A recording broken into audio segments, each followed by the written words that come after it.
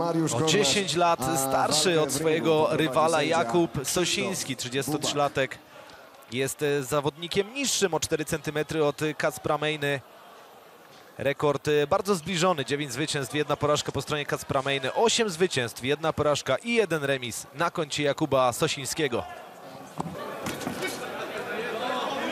Oczywiście te siły też e, względem długości tego dystansu tego pojedynku należy odpowiednio rozłożyć.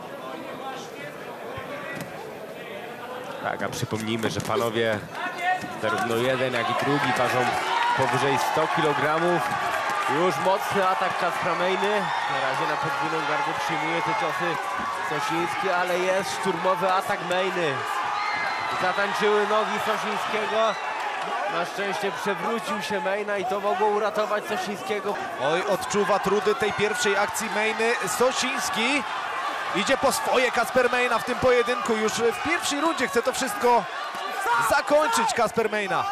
Widzimy, że te nogi cały czas są sparaliżowane, porażone. Kuba Sosiński niepewnie stoi. A Kacper Mejna cały czas kontynuuje dzieło zniszczenia. Chce dotrwać na pewno już do tego gongu Kuba Sosiński, bo widzimy, że na jednej nodze w tym momencie stoi pod linami. Z kategoria ciężka tutaj. Oj, teraz y, naprawdę te nogi już odmawiają posłuszeństwa Jakubowi Sosińskiemu.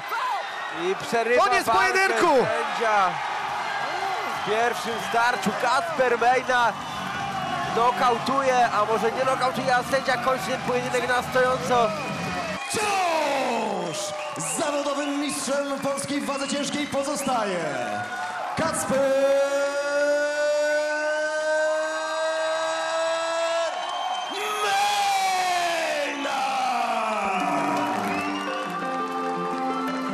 Pas wraca do właściciela, tak można by określić y, to, co wydarzyło się przed momentem. Zwycięzcy pojedynku wiesza pan Tomasz Brzoskowski,